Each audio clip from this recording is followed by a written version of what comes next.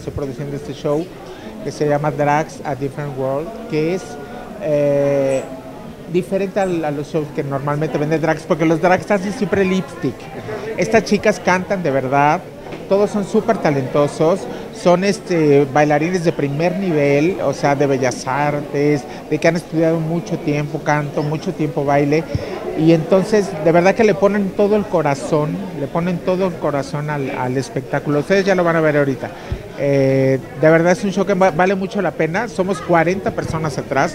Enfrente somos 15, pero atrás son un poco más. Entonces, entre peluqueros, peinadores, maquillistas, microfonistas, técnicos, músicos, son, es mucha gente atrás trabajando, o sea, que les guste. Y decidimos lanzarlo ahorita por la semana que viene ahorita, eh, el orgullo de, de la comunidad LGBT. Y más, más, más, más. Oye, ¿cuánto dura un espectáculo de este tipo y qué es lo más fuerte que puedes ver? Tenemos ya cuatro semanas eh, que ya estrenamos, que ya estamos al aire y nos ha ido muy bien. Gracias a Dios la gente ha tenido mucha, una respuesta muy padre en, en cuanto al espectáculo y porque lo hemos tratado de hacer con mucho respeto, con mucho respeto hacia la comunidad. No estamos colgándonos ni burlándonos, ni hacia, al contrario, estamos resaltando piezas de gente clave que tiene mucho talento y que lo está demostrando ahí, ¿no? Oye, eh, aprovechando, ¿sabes si ya hay avances sobre la serie de Mitzi que tenía planeado hacer? La serie de Mitzi, somos amigos, es el único diseñador con el que me llevo. Ah, no cierto. que no somos competencia. Vestimos y desvestimos a las mismas, entonces nos llevamos muy bien, nos llevamos muy bien, somos amigos de hace mucho.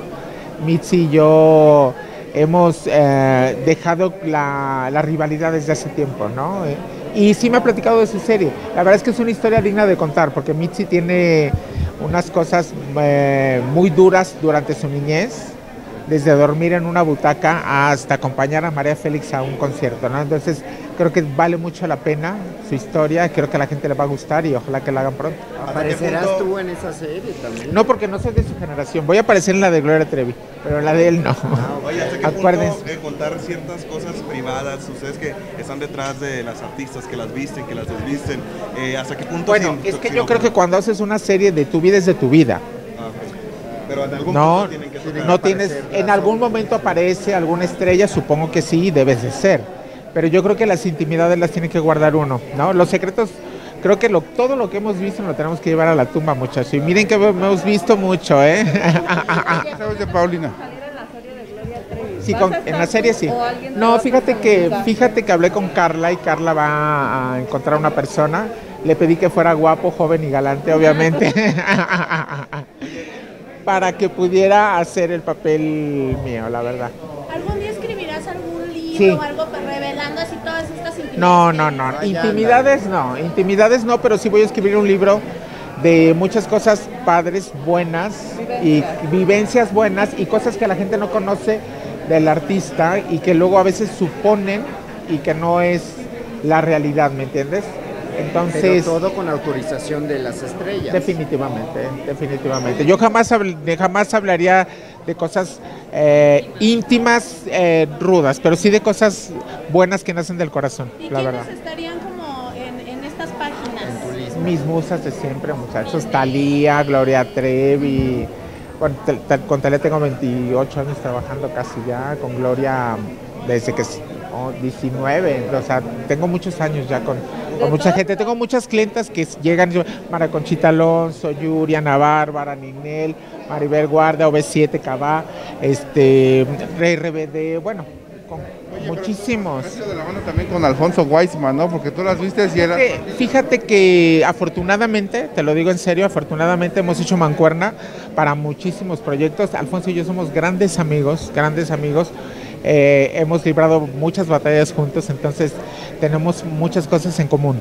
Y entonces, Tú que, perdón, tú que conoces las medidas muy bien de Anaí, sigue conservando su figura. ¿qué tal se veía ahora? Fíjese que le dedicó mucho tiempo, le dedicó mucho tiempo a su vestuario, se hizo siete vestuarios para escoger ese.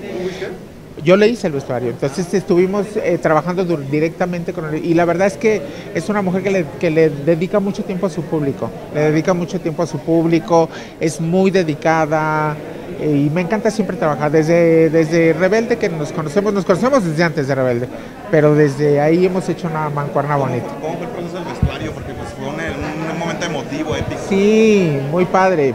Había mucho vestuario para escoger, pero ella escogió ese, entonces se, se hicieron muchos, muchos sombreros rosas icónicos. ¿Se lo regaló Carol G o cómo? se lo regaló el que yo le había hecho otro de, mm, de muchos cristales.